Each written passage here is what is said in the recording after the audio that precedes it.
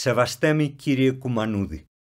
Επί πέντε όλους μήνας μοχθήσας κατόρθωσα να ανακαλύψω διακοσίους ανεκδότους επιγραφάς και κρυμμένους εν και εκκλησίες, εν δημοσίης κτηρίης και ιδιωτικές οικίες, εν το φρουρίο και εν της αγρής της πόλεως μας, εις χωρίσας και εις μέρη αουδής, ούτε ημέτερος, ούτε ξένος εισεχώρησε μέχρι σήμερον.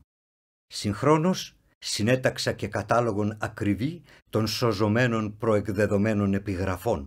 Ον πλίστας επανορθώ και συμπληρώ κατά πολλά. Διο λίγων χρημάτων κατόρθωσα και περισκαφήν μνημείων, τεινών εν επιγράφων εξής ούκο λίγα ωφελήθην. Πέτρος Παπαγεωργίου Επιστολή προς Στέφανο Κουμανούδη 1889